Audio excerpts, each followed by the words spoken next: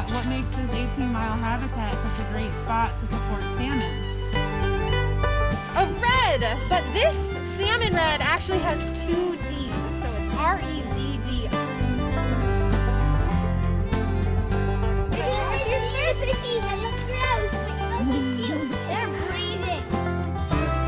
Things by vegetation. First, as scientists, we want to start with the prediction before we do an experiment.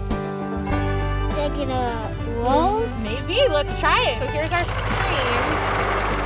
Uh-oh. Back out into the ocean they go. See right there, that big orange thing on their belly? That is a yolk sac. It's almost like they still have an egg attached to them. So they don't go around and eat with their mouth. They just eat off that yolk sac until it's all gone. And that's water boatmen, and those are some invertebrates. There's a lot of them, and they went right into the bucket. But bankside vegetation is important. It's important for the baby fish.